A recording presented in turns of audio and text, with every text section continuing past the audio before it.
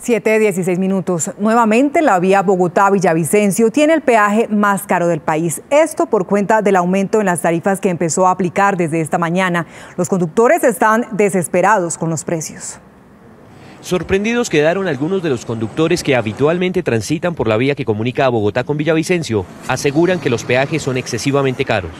Da tristeza porque cada día no hayan cómo jodernos más a los pobres. No, eso tan cortico ese trayecto y tan largo que tan caro que pusieron esos peajes.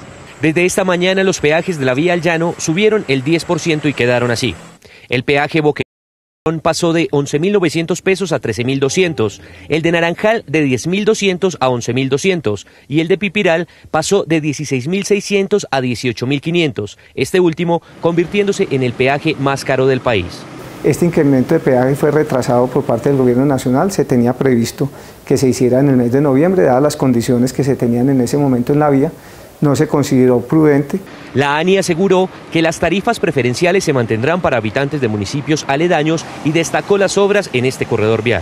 La apertura las 24 horas de la zona del kilómetro 58, la construcción del tablestacado y adicionalmente los 10.5 kilómetros de segunda calzada que se incorporan a la vía a partir del 30 de enero. La vía al llano estuvo cerrada por cerca de cuatro meses debido a un derrumbe en el kilómetro 58 y por esta vía en un fin de semana transitan unos 12.000 vehículos.